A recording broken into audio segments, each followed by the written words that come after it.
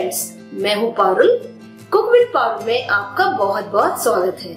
आज मैं बनाने वाली हूँ बहुत ही यमी और टेस्टी खाने में डिलीशियस वो है ब्रेड मंचूरियन सैंडविच और बनाने में बहुत ही आसान। तो चलिए शुरू करते हैं। ब्रेड मंचूरियन सैंडविच बनाने के लिए सबसे पहले हम एक बोल लेंगे इस टाइप का और उसमें हम डालेंगे बारीक कटी हुई two tablespoon onion two tablespoon गाजर बारीक कटी हुई टू टेबल स्पून कैप्सिकम यानी शिमला मिर्च।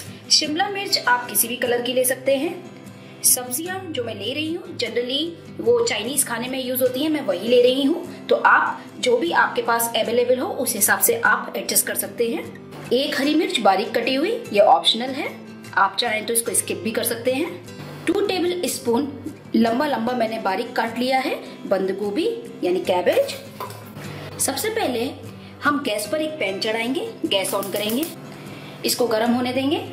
अब इसमें हम डालेंगे two table spoon oil oil को थोड़ा गर्म करेंगे। ऑयल गर्म हो गया है। फ्लेम को थोड़ा मीडियम टू लो के बीच में रखेंगे। और जो वेजिटेबल्स हमने ली थी, सारी वेजिटेबल्स इसमें डाल देंगे। जो हमने बेजीज ली थी, उन सभी बेजी को हम थोड़ा सोटे करेंगे। हमें वेजीज को थोड़ा क्रंची ही रखना है तो हम बहुत देर तक नहीं भूनेंगे इसको। अब इसमें हम डालेंगे स्वाद अनुसार नमक। एक छोटी चम्मच जिंजर गार्लिक पेस्ट अदरक लहसुन का पेस्ट एक छोटी चम्मच। अब इसमें हम डालेंगे एक चौथाई छोटी चम्मच काली मिर्च पाउडर अब इसमें हम डालेंगे एक मिनट बाद एक छोटी चम्मच सोया सॉस एक छोटी चम्मच ग्रीन चिली सॉस, एक छोटी चम्मच रेड चिली सॉस। आप यहाँ पर, अगर आपको लगता है कि बच्चों को मिर्च लगेगी तो आप ये चिली सॉस और ग्रीन चिली सॉस आप स्किप कर सकते हैं। सिर्फ़ आप टोमेटो केचप भी डाल सकते हैं। एक छोटी चम्मच टोमेटो केचप। सभी चीज़ों को अच्छी तरीके से लो फ्लेम पर मिक्स करेंगे। अब इसमें हम डालेंगे एक चौथाई छोटी चम्मच रेड चिली फ्लेक्स। ये भी ऑप्शनल है। सिर्फ़ इस टोटल मसाले को हमें दो मिनट फ्राई करना है और आप देख सकते हैं मंचूरियन फिलिंग बिल्कुल तैयार है। ये जो हमने स्टफिंग बनाई है मंचूरियन सैंडविच के लिए बिल्कुल रेडी है तो गैस को करते हैं ऑफ़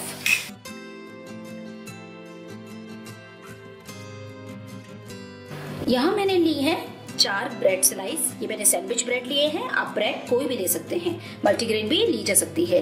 अब सबसे पहले हम एक ब्रेड स्लाइस को लेंगे। और उस पर हम लगाएँगे बटर। बटर के बाद जो स्टफिंग हमने मंचूरियन की तैयार की थी, अब इसमें हम वो स्प्रेड करेंगे।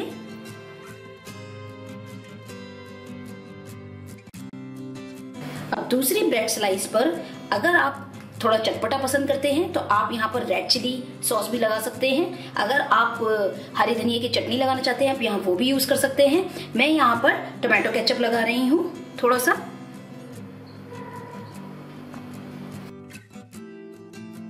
अब इसके ऊपर हम दूसरी स्लाइस को रख देंगे। इसी तरीके से दूसरा सैंडविच भी तैयार करते हैं। दोनों सैंडविच बिल्कुल तैयार हैं तो अब हम इसको सेकते हैं। सेकने के लिए मैंने यहाँ लिया है ग्रिल्ड पैन आप प्लेन पैन पर सेक सकते हैं और आप चाहें तो इसको इलेक्ट्रिक ग्रिल में भी ग्रिल कर सकते हैं। या आप सैंडविच मेकर में भी इसको सेक सकते हैं। तो अब हम इस पर डालेंगे थोड़ा सा बटर